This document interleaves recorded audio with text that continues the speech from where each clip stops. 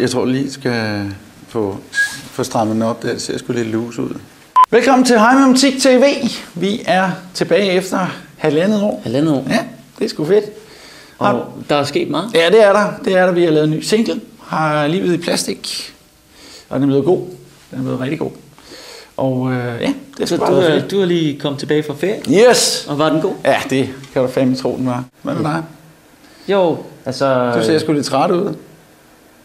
Nå, jeg synes, den ellers er meget... Nå, ja. Det er lidt som man tager det. Ja, altså, der er okay, der er måske... Jeg synes, der har været lidt meget arbejde. Øh, altså, det har været lidt hårdt arbejde med slutprocessen her op til, op Ja. til singlen. Og det, er- og det er øh, okay. Okay, så det har været hårdt. Ja, det synes jeg. Der har været... Altså, Jamen, sangen er jo skrevet, altså vi har jo lavet øh, sangen i kassen. Øh, hvad mener du? Altså, øh, ja, da, så der, kommer der lige mix, du ved, ikke? Så skal vi have master, og jeg Ja. lavet cover til singlen. Og, altså, der, er og så har der været mange koordination ting, synes jeg. Undskyld, men, men det er bare, det, det er sjovt med dit, det er som om, at dit tidsbillede er, er, er, er helt forkert. Helt forkert. Hvis man hele tiden sidder og siger, at det tager lang tid, og det er svært og alt det der, jamen, så er det klart, så får man ikke lavet en skid. Det er lige meget hvad, så er det øh, negativitet, negativitet, negativitet.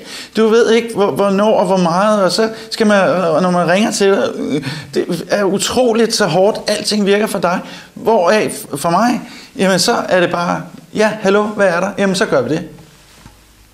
Det der er da meget, meget sjovt. Og øh, forskellen på os to. Men du er også ung, selvfølgelig. Du er 26, du kommer fra den der generation, som ikke kan finde ud af en skid. Hvor jeg er lige det ældre. Og vi sidder ligesom... Du kan prøve at se ind på Christiansborg, hvor mange der sidder derinde, der er 26 år gamle. Der er ikke særlig mange. Nå.